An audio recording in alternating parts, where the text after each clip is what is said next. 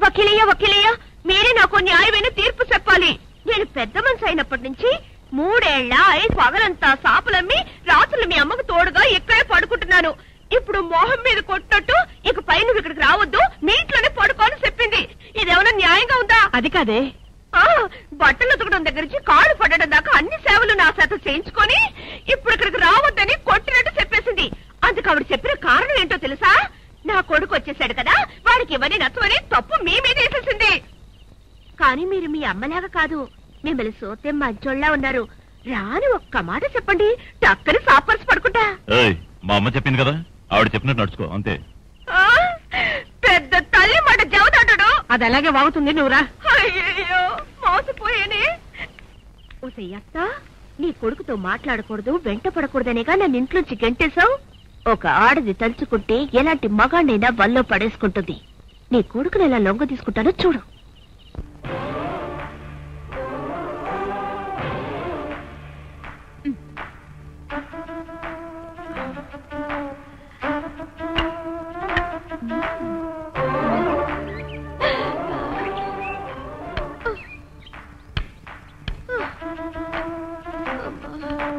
పార్వతి!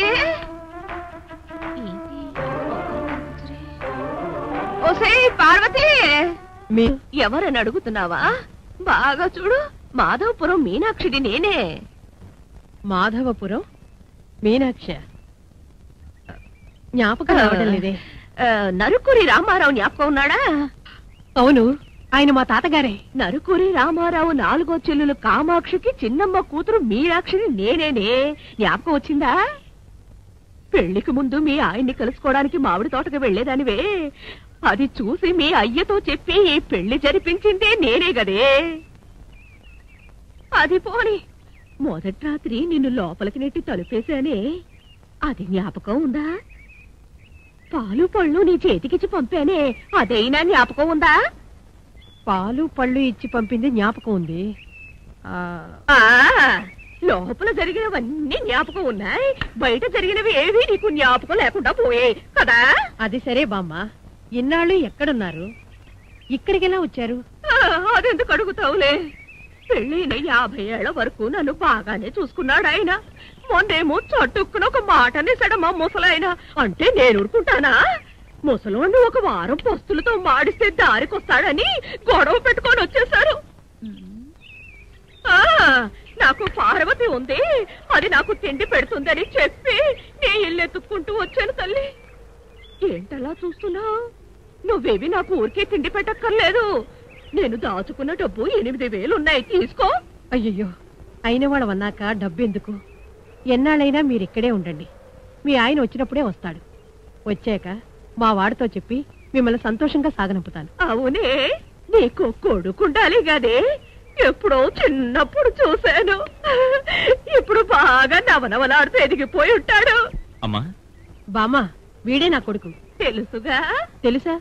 ఎలా అదే తెలుస్తోంది అంటున్నా. నీ కొడుకుని. ఎవరివిడా? మనవడా? బామ్మని రాజా. పార్వతి నీ కొడుకు నీలాగే పొడుగు నీలాగే బంగారు ఛాయ నీలాంటి కళ్ళు. వస్తా నీ కొడుకుని ముద్దు పెట్టుకున్నానే. ఇప్పుడేం చేస్తావో చూస్తా. ఏంటి నీలాగే పొడుగైన చెయ్యి. ఏంటి రాజా ఇది? చేతులు ఎంత పెద్ద పుండు? ఏమిటి బాబు? అమ్మా. ఏం లేదమ్మా. రెండు మూడు రోజులుగా అలవాట్లేని పని చేశాను కదా అందుకే ఏమిటంత తేలిగ్గా చెప్పేశావు? పార్వతి నువ్వు వెళ్ళి కొబ్బరి నూనెలో కర్పూరం కలిపి తీసుకురా పో. అమ్మా, పర్వాలేదమ్మా. నువ్వు రా నాయనా. ఏమిటి నాయనా ఏం పని చేసావు ఎంత పెద్ద ఇది? అయిపోయింది దా కూర్చో నాయనా. పక్కన కూర్చోరా. రా. రా రాజా నా ఒళ్ళో పడుకో. బామ్మ, నాయనా ఏంటి బామ్మ? బామ్మనే కదా పరవాడా తప్పులేదు పడుకో నాయనా ఈ- ఈ కర్ర? ఇదెందుకు ఇప్పుడు? ఏమిట్రా అంత సిగ్గుపడుతున్నావు? నువ్వు చిన్నపిల్ల నువ్వు అన్నం చేయకుండా తాగేవాడివి. బామ్మ చిన్నప్పటి నుంచి నేను నీకు తెలుసా? ఏమిటి అలా అడుగుతున్నావు? నువ్వు పుట్టగానే ఆడ మగాని చూసి చెప్పిందని నేనే. ఓ బామ్మ. పడుకో నాయనా. దీనికి ఇలా సిగ్గుపడిపోతే ఎలా? ఇంకా ఎంత ఉందని చెయ్యి చాపు. ఎందుకు బామ్మ? కాదు నాయనా. ఏమిటి బామ్మ? నొప్పి తట్టుకోలేక పడుకున్నాడా? ఆహా, పార్వతి ఆ రోజుల్లో నువ్వు నవ్వితే చూసేవాళ్ళంతా గుమ్మైపోయేవాళ్ళు కదా. అలాగే నీ కొడుకు నవ్వుతున్నాడే. చేతికి దెబ్బ తగిలితేనే ఇంత కాల్ చేస్తుంది. నువ్వు మందురాయి.